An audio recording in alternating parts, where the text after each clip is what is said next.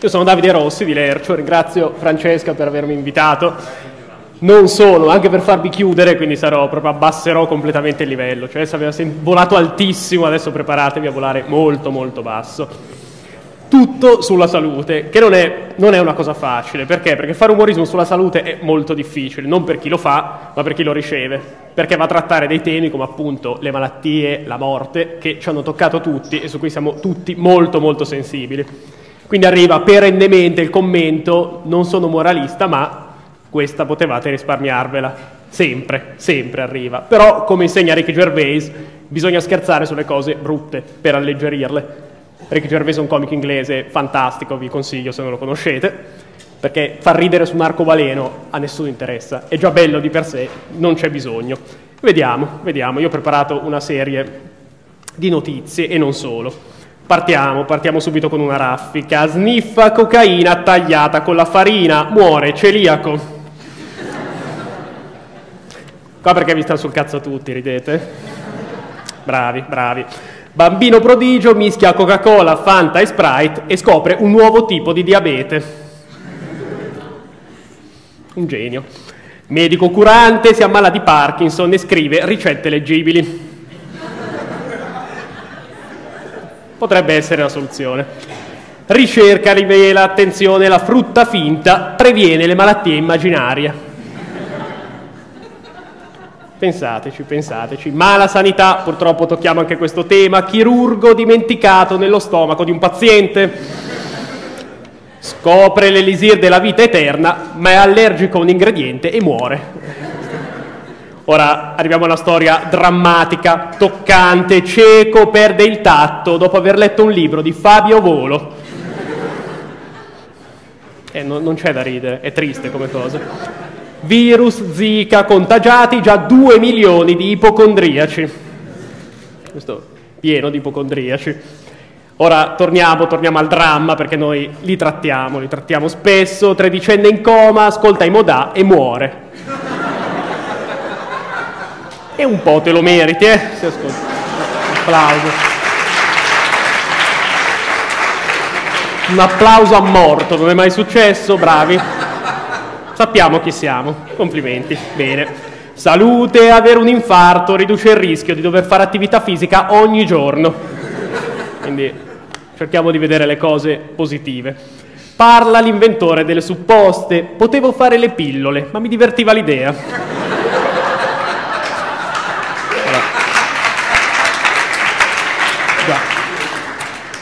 Anziano muore in un incidente stradale, la famiglia non ha dubbi, accusa, l'ha ucciso il vaccino.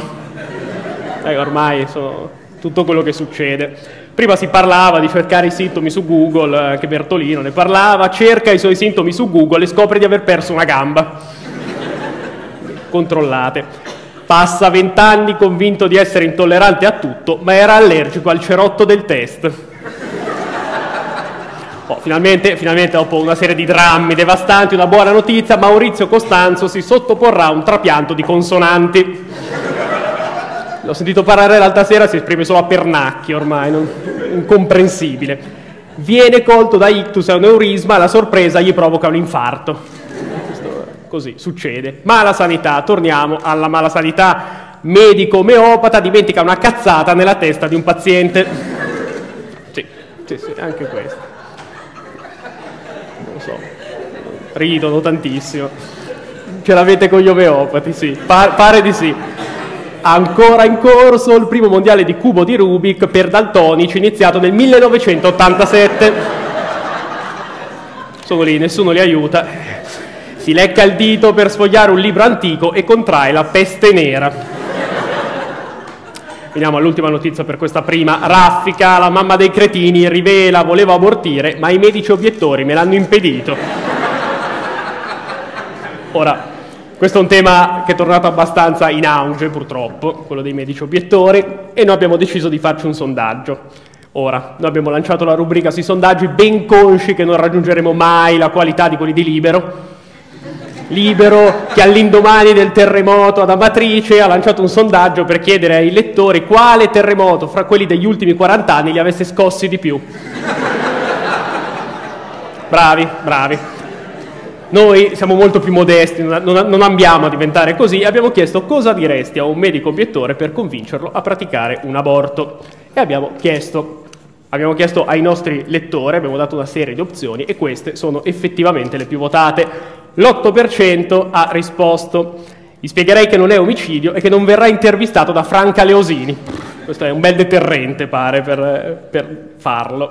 Il 21% ho fatto il test, è tuo figlio. Questo pare che funzioni, eh, pare che funzioni. Pare che funzioni come la terza opzione, che ha preso addirittura il 27% di voti, il bambino è gay. Questo li spinge, li spinge a farlo. L'ultima invece, quella più votata, il 44%, vanno bene 1500 euro nel tuo studio privato? Così, hanno votato questa, non so perché, non so perché, non, non abbiamo votato noi. Ora, le nostre serate sono abbastanza composite perché abbiamo diverse rubriche. Oggi ho cercato di estrapolare da tutta la scaletta che dura un'ora e tre quarti circa, tutto quello che riguardava più o meno la salute in qualche modo. E quindi abbiamo anche degli annunci che facciamo ogni settimana sul nostro sito e ne ho portati giusto tre esempi. Questa è la prima, vendo supposta usata ma tenuta benissimo. Ora, questa è la seconda notizia sulle supposte. Io cercando un po' di notizie sulla salute mi sono accorto che ne abbiamo scritte tantissime ed è inquietante la cosa. Freud avrebbe scritto un trattato su di noi probabilmente e sulla nostra fissazione per le supposte. Orchestra filarmonica cerca malati di Parkinson anche senza esperienza per concerto di maracas. Vanno bene anche i medici che si sono ammalati e hanno imparato a scrivere, non è che stiamo lì. Andiamo al prossimo. Sono affetto da sindrome di Tourette, cerco medico, figlio di Troia, non rotti in culo, urgente, urgente. Pare che lo sia, lo vedete, è molto urgente, è molto urgente. Ora, un'altra rubrica, stiamo facendo proprio un excursus abbastanza veloce, è quella che chiamiamo te l'avevo lercio. Cos'è te l'avevo lercio? Sono tutte quelle notizie, e sono parecchie, in maniera inquietante, sono veramente tante, che noi abbiamo scritto e che puntualmente poi si sono avverate per davvero o perché le ha scritte leggo e quindi non è che proprio sono attendibili, però pare che siano successe. Ve ne ho portato giusto un esempio. Alcune sono molto divertenti, altre sono abbastanza tristi, come in questo caso. Partiamo però da quella vera. Di solito facciamo il contrario, ma qui partiamo con quella un po' più pesante, che ci fa dubitare della bellezza della realtà e delle persone. Il 24 marzo del 2015 c'è stato il disastro della Germanwings, non so se vi ricordate, il copilota era depresso, si è schiantato con, con l'aereo, ha ucciso 149 persone. Il Fatto Quotidiano, il 9 aprile del 2015, ha dato questa notizia. Germanwings, donna si finge vittima, parente di una vittima e vola gratis in Francia. Ora, voi direte, perché? Cosa c'entra questo con la salute? C'entra. C'entra perché noi, tempo prima, a dicembre del 2014 avevamo scritto una notizia su un altro dramma che era successo questa volta in Italia l'8 dicembre del 2014 per la precisione è morto Mango. Mango stroncato da un infarto. E noi non abbiamo scritto nulla in quel momento perché non ci sembrava il caso. Poi non era un personaggio controverso quindi non c'era motivo di fare battute sulla sua morte. Però il 9 dicembre è morto il fratello di Mango noi non abbiamo scritto niente, a fatica però in quell'occasione, Siamo legati perché, detto, no, perché poi è morto anche lui per complicazioni legate al cuore, quindi cioè, una roba che stava diventando surreale. Cosa succede il 10 dicembre? Che durante la veglia di entrambi i manghi, il terzo mango e il quarto mango stanno male, vengono ricoverati in ospedale. Quindi a quel punto ci è sembrato legittimo scrivere e abbiamo scritto questa notizia, si finge parente di Mango per saltare la fila al pronto soccorso. E questa è del 17, quindi mesi, mesi prima di quella, non so se gli abbiamo dato noi l'idea, non lo so, non ci voglio pensare. Voi avete riso, avete riso perché è passato un po' di tempo, all'epoca ci hanno abbastanza bastonato per questa cosa, non capendo che poi in realtà non c'entrava Mango, c'entrava il malcostume italiano di cercare in tutti i modi di saltare le file. Quindi questo è molto divertente secondo me. Ce ne sono altri eh, di, di, esempi, sono, sono, tantissimi, non sto qui a elencarveli tutti, cioè si va veramente da, dal Papa che bestemmia, che poi è successo, non lui, ma uno nella radio dove c'era, a delle partite di twister che finiscono in modo molto divertente, ma se venite alla nostra serata poi vedrete tutto. abbiamo anche una serie di notizie che vanno assolutamente accompagnate da un'immagine per essere capite, altrimenti non funzionano. Vediamo, vediamo se è così o ce lo, ce lo siamo sognati. Può anche essere ipoterapia, ha battuto Cinder, il cavallo che prendeva in giro i bambini autistici. Vedete? Un essere spregevole, come potete capire dal, dall'immagine. Ogni tanto cambio l'immagine del cavallo perché ce ne sono un sacco che ridono, quindi è bello anche cambiare. Ora, sapete che il Ministero della Salute ha dato il via libera ai nuovi pacchetti delle sigarette, quindi immagini scioccanti, decisamente, decisamente scioccanti. Quello che forse non sapete è che il Ministero della Salute ha dato il via libera anche alle immagini shock sui pacchetti di sigarette di cioccolato. Buh. È inquietante averli tutti e due dietro, raddoppiati, quindi sembrano 18 persone praticamente alle mie spalle. Vediamo la prossima. Salute, ogni anno l'obesità uccide 6 milioni di polli. I giornali non ne parlano, fidatevi di noi, li uccide, li uccide. Vediamo il prossimo, chirurgia estetica, Labrador si opera 13 volte per assomigliare al commissario Rex. Operazione riuscita, direi, come potete vedere. Ora, voi ridete, questa è una delle notizie che, ahimè, anzi no, perché poi li sfruttiamo, è stata presa per vera, come potete vedere dai commenti, ma se il proprietario aveva delle fisime, perché non si operava lui da mettergli un po' di letame nella testa per colmare il vuoto che c'è? Secondo me lei l'ha già fatto, eh? quello che scrive l'ha già fatto, secondo me. Prenderei il veterinario che l'ha operato, lo ammazzerei di botte, alcuni in posta ci hanno chiesto il, l'indirizzo del veterinario per andare a prendere, tutto molto divertente. A chiudere questa diatriba che poi è andata avanti per un paio di giorni, è arrivato un genio, un nostro lettore geniale, che ha commentato così, io il mio gatto l'ho fatto così.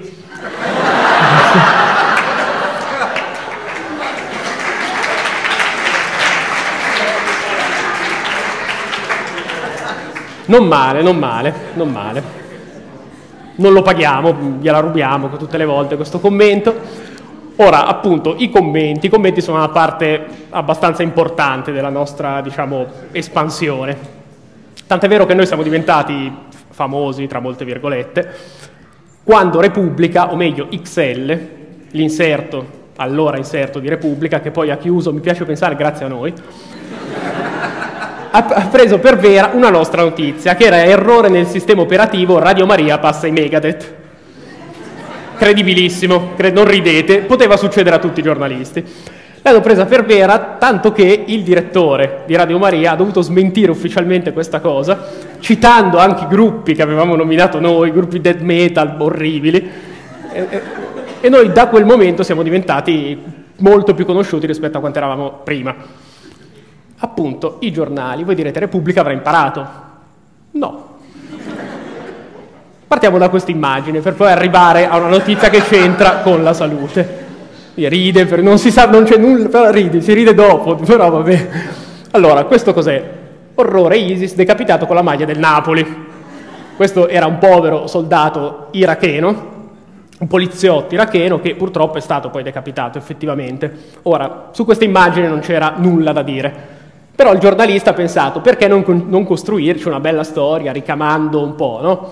E quindi ha scritto che non si tratta di un ulteriore messaggio intimidatorio diretto al nostro paese, solo un caso dunque che la vittima indossasse la maglia del Napoli, particolare probabilmente dovuto al fatto che in quelle zone lavorano diverse associazioni umanitarie, tra cui la Ollus Dribbla la Povertà, che distribuiscono divise delle squadre più famose del mondo. Ora, tutto molto rassicurante, tutto molto bello, tutto molto falso anche, perché questa dribbla alla povertà era nostra, ovviamente, era in questo articolo scritto un anno prima, quindi aveva avuto anche tutto il tempo di controllare, non l'ha fatto, un'altra vittima Repubblica, sempre noi, avranno tumulato penso il pomeriggio stesso questo giornalista.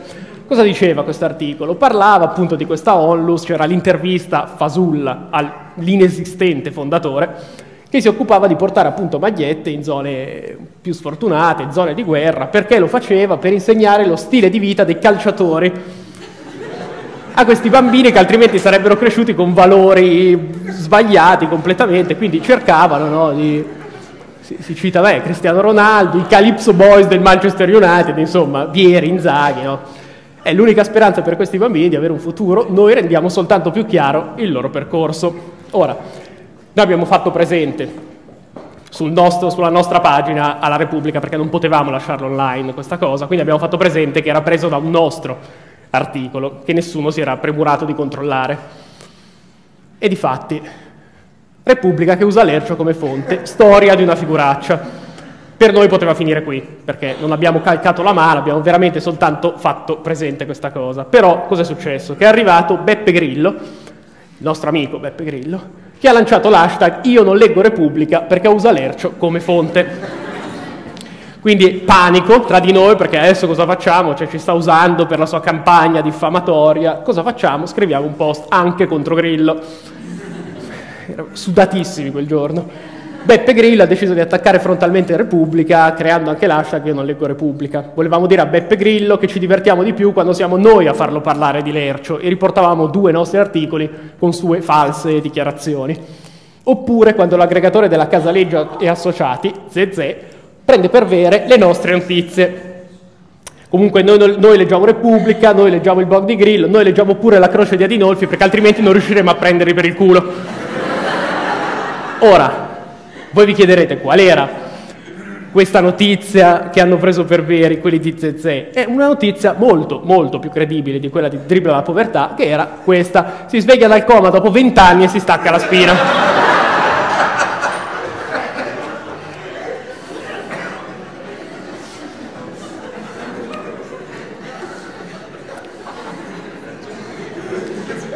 Può succedere, può succedere.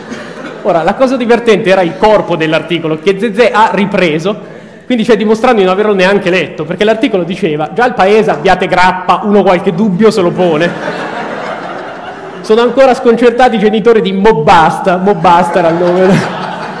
Il diciassettenne che giustamente dopo vent'anni di coma si risveglia si è tolto accidentalmente la vita e un ultimo disperato guizzo vitale. Il giovane era costretto in stato vegetativo da oltre 20 anni, pur avendone 17, non sono scemi, dal giorno in cui subì un orribile fatality da Sub-Zero giocando a Mortal Kombat 2.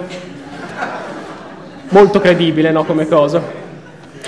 Anche in questo caso è soltanto una di quelle che ci sono capitate, ad esempio c'è successo con Cracco, eh, che è stato bersagliato dagli animalisti per un nostro articolo che era la sua ricetta pasquale, l'agnello condito da vivo, la sua specialità. E vabbè, lì è stato molto divertente perché poi lui ha scritto un post in un italiano stentatissimo in cui diceva che non, non, non capiva perché tutti lo stessero bersagliando e lanciava l'hashtag niente di meglio da fare, metteva anche l'hashtag Carlo Cracco perché magari si dimentica di come si chiama. Noi gli rispondevamo sotto, cioè, dicendogli che comunque eravamo un sito che faceva notizie satiriche false e d'altronde su di lui c'erano un sacco di bufale che giravano, tipo quella che lui faceva le patatine in busta, la pubblicità, no? non, non l'ha presa benissimo. E abbiamo, abbiamo, chiuso tutto quel post dicendo dai chef facciamo pace andiamo tutti a cena da Cannavacciuolo offriamo noi dopo due commenti è arrivato il commento di Cannavacciuolo che si è inserito nella discussione dicendo che avrebbe reagito alla sua maniera, dandoci una pacca sulla spalla, che visto quanto è grosso, non so se era una minaccia o cosa.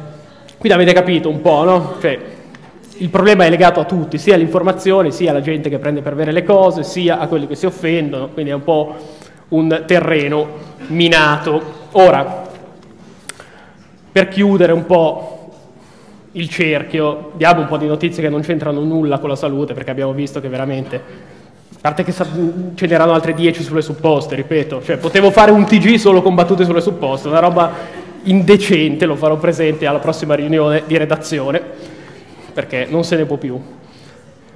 Bene, partiamo, partiamo un po'. Macchinista fa arrivare il treno in orario e viene denunciato per apologia del fascismo. Musica, musica, parliamo un po' di musica che non l'abbiamo toccata ovviamente. Il maestro Muti fa suonare il telefono per ritrovarlo, 10 minuti di applausi. meritati, meritati. Amy Winehouse si riprende dalla sbornia del 2011 e si accorge di essere stata sepolta. Questa la gente si incazza ancora adesso quando la scriviamo, e la, è vecchissima, no? si incazzano ancora adesso. Neonazista scambia un hipster per un ebreo ortodosso e lo massacra di botte. La prossima l'abbiamo scritta a ridosso della strage di Charlie Hebdo, che ci ha toccato abbastanza visto quello che facevano e che fanno tuttora. Testimoni di Geova tentano di entrare in un palazzo per fare una strage, ma nessuno gli apre. Ora, un, uh, un, argomento di scottante attualità, Nina Mori cioè, si masturba e trova nella vagina 500.000 euro che Corona aveva nascosto al fisco. Erano lì erano lì. Roma, Roma ha inaugurato il monumento commemorativo delle poste italiane. La fila va, va avanti, va avanti. Non si accorge che viva necrofilo fa sesso con Patti Pravo. Un necrofilo che ride. Sei immedesimato.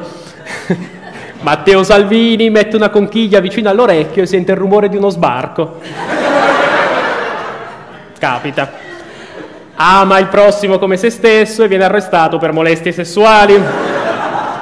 Ora, una, una, buonissima notizia, arrestato il superlatitante Messina Denaro dal 1993, si nascondeva dentro al Gabibbo. Eh, era lui, era lui, era lì dentro. Questa è una di quelle che viene spesso presa per vera lasciano il figlio in auto per partecipare al Family Day. Questa facciamo un test di solito, oggi per questioni di tempo non, non lo farò, si chiama vero o lercio e questa la mettiamo sempre e un sacco di gente coi figli dice che è vera, la cosa inquietante è che hanno i figli, è questo che spaventa. Non fanno scopare di più, Porsche richiama 6 milioni di auto difettose. Oh, Bob Dylan, Bob Dylan, eh, si parla un sacco di Bob Dylan, l'Accademia svedese proverà a fargli consegnare il Nobel da Valerio Staffelli. sono disperati, sono disperati. Mosca, oppositore di Putin, muore per cause naturali. Questa era un po' così. Oh, abbiamo parlato di panda, prima si è parlato di panda oggi, un, un, sacco di panda, e anch'io ho una notizia sui panda, non volevo essere da meno. Il WWF rivela i panda non esistono, sono solo orse polari con dei partner violenti. Adesso sapete perché non era vero quello che ha detto del bambù, lo fanno perché possono tirare i pugni, la mano, così. Non so chi di voi ha seguito oggi, ma era per quello, era per quello. Dio richiama, teniamolo qui dietro, teniamolo qui dietro che fa, è bello, fa simpatia. Dio richiama 3 miliardi di persone a causa di un difetto di fabbricazione. Non noi, eh, gli altri, quelli fuori. Siamo quasi in chiusura. Milano, artificieri fanno brillare una borsa di pelle abbandonata, ma era Donatella Versace che aspettava un taxi. Sì, sì. sì eh, ormai è ridotta un po' così. I missionari insorgono, non abbiamo mai scopato in quella posizione. Non si sa dove è nata questa cosa, ma ci tenevano a rettificare, non l'hanno mai fatto, quindi basta usarlo. Una battuta sull'ISIS, ne fate poche oggi, di solito siamo pieni, quindi tanto qua non ce ne sono. Spero, spero, spero l'ISIS bonifica una palude e certi italiani iniziano a vederlo di buon occhio. Lui forse è dell'ISIS, mi sta scattando un dossier fotografico, manderà poi mm, al califfo. E... Bene, ora chiudiamo, chiudiamo il mio intervento con la notizia con cui chiudiamo tutte le nostre serate. L'Accademia della Crusca si arrende, scrivete quale con l'apostrofo e andatevene a fanculo. Grazie.